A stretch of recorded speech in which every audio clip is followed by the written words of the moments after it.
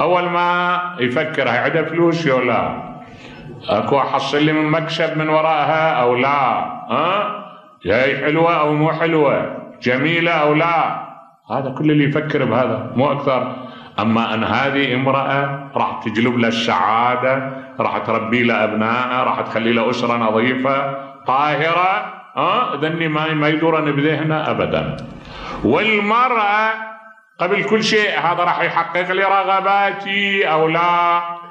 هذا ممكن راح يهيئ لي السيارة اللي أحتاجها أو البيت الضخم اللي أحتاجه أو المركز الاجتماعي اللي أحتاجه.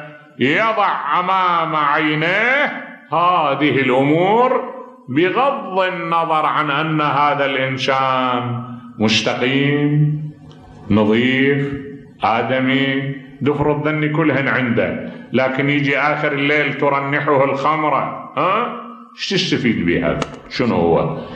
يجي ويحمل في داخله العهر والفجور والأفكار المنحطة والروح الخبيثة. هذا يمكن يكفل للمرأة حياة سعيدة يمكن المرأة راح ترتاح. وتربي أولادها في ظل أبوة نظيفة أو كريمة.